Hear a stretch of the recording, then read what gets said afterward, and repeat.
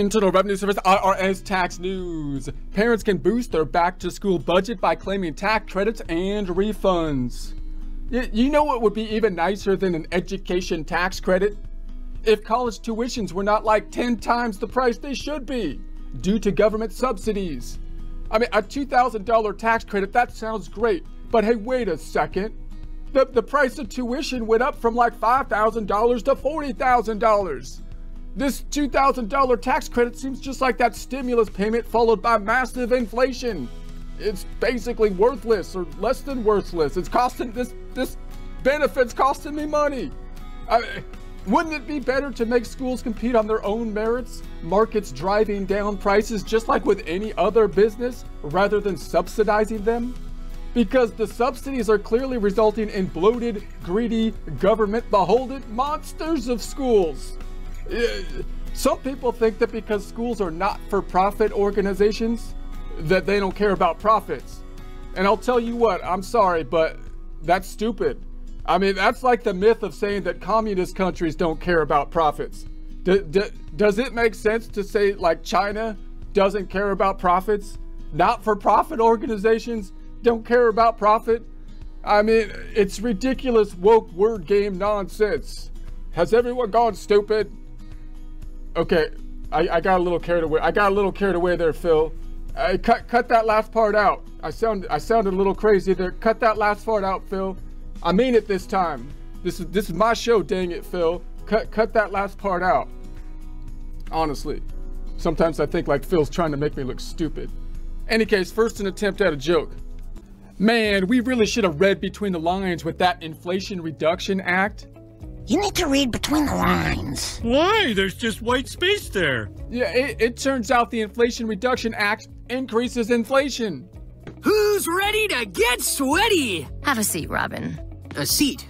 But, uh, that's the opposite of cardio.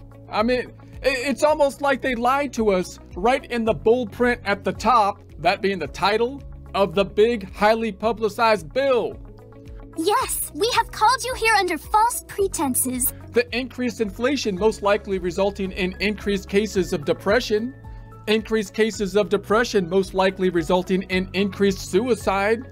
And some say their blood is on this bill's hands. What's that on your hands? Blood? Paint. Paint? I guess that blood was the red between the lines. And Americans, being afraid of blood, don't like looking between those lines. Oh, woes. Are they back in business? I thought they closed down three years ago. It's been a really long time since we have. Oh, geez, has been that long? I don't feel like Chinese tonight anyway. Frank, it's so sweet of you to be concerned about me.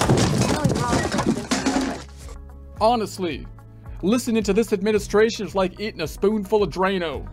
It's like eating a spoonful of Drano. Sure, it'll clean you out, it'll leave you hollow inside. COVID tax tip 2022-134 August 31st 2022 summer is slipping away and another school year is starting. As kids head back to classrooms parents are ticking items off the school supply list. Hey how does the government know that I'm ticking stuff off my have they been spying on me again? I swear okay any case. If they want to boost their back to school budgets parents and guardians should make sure they aren't missing out on their 2021 refunds and tax credits. Many people don't get their tax refund because they don't file a federal tax return. Some people choose not to file a tax return because they don't earn enough money to be required to file. So this gets back to the question of Am I required to file? Being different from the question of should I file or will it be beneficial for me to file?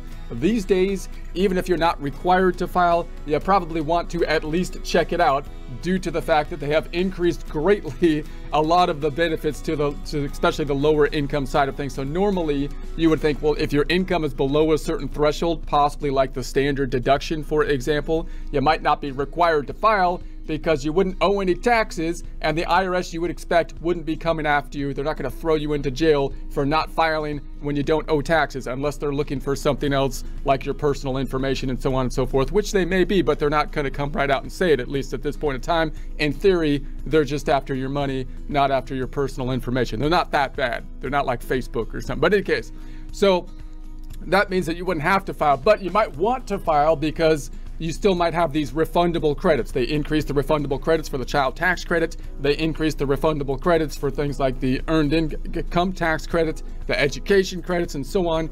And you have the capacity typically to get access to free software if your income is below a certain threshold to at least check it out. And so uh, if you know anyone that hasn't filed, they don't think they need to file. If they're saying, hey, I didn't earn much money or I didn't have much withholdings, so it's not worth my time to file, then you might want to say, yeah, it might be worth your time uh, to file. And, and you might want to uh, check check that out. And you also might want to be more vigilant for people that are thinking like that as well in terms of their personal information because these are the people that are often being targeted for identity theft people that, that uh, are trying to steal their identity so they can file tax returns and try to get, get access to these these types of credits and whatnot. So in any case, generally they don't they won't receive a failure to file penalty if they owed a refund, but they won't receive their refund either. A refund isn't the and remember with a refund, this is another term that has become not quite correct. It's kind of a, a misnomer to call things a refund if you didn't know any tax. If you didn't know any tax, and the IRS gives you money, they're not refunding anything. They're giving that's a benefit type of program. But a lot of people that didn't earn a lot of money might still get money back through the tax code regulations, which they would call a refund. So a refund isn't the only money people might be missing out on when they don't file. If they're eligible for tax credits like the child tax credit and the earned income tax credits, they, uh, they're leaving that money on the table as well. And you don't want to leave stuff on the table because people like they might take it off the table. Someone might take it from the table. It's like that's my money on that table. If you leave it like in the table on your workplace, then that's not a very safe place to put your money. So the child tax credit.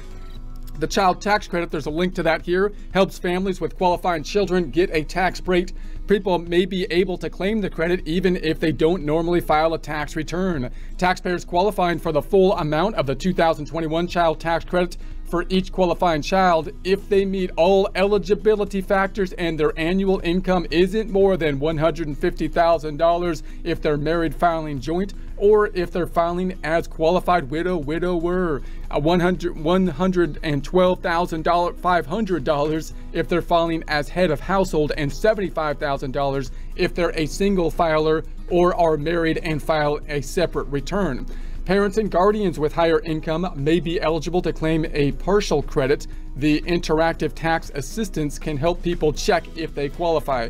So you might want to actually get the tax software, which you might have access to free tax software if you go to Free File Software before the deadline of October 17th if your income's below a certain threshold. And that's, you know, a great tool, of course, to kind of check out what, what you qualify for because they have usually question and answer type of format within it. So the earned income tax credit, this being one of the most complex credits to calculate, uh, but it's aimed at you know the, the lower income threshold. Lower income tax returns are actually becoming more and more difficult because of these refundable credits and these changes to the earned income tax credit and so on. So the software quite useful. I, I wouldn't even really want to attempt this as even a tax professional without software if I had all these credits that are mingled together and you have refundable components and so on and so forth and family dynamics with different dependents and whatnot. Uh, so check out the software to check this out. So the Earned Income Tax Credit helps low to moderate income workers and families get a tax break. If someone qualifies, they can use the credit to reduce the taxes they owe and maybe increase their refund. Low to moderate income workers with qualifying children may be eligible to claim the Earned Income Tax Credit if certain qualifying rules apply to them. People may qualify for the EITC, the Earned Income Tax Credit, even if they don't claim children on their tax return. Visit irs.gov, irs.gov, irs.gov.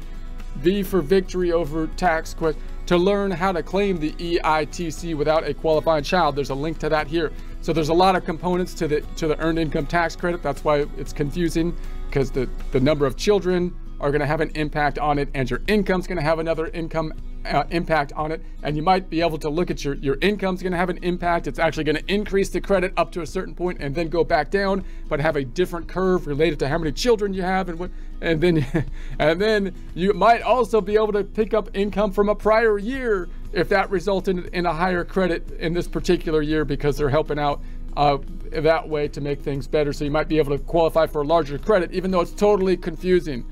But there it is. So people who qualify for the EITC may also qualify for other tax credits, including the child tax credit and the credit for other dependents, child and dependent care credits, education credits, recovery rebate credits. There's links to all that stuff. You got more information here with links to it. Don't lose your refund by not filing. Earn income tax credits, child tax credit. You got all this reading material.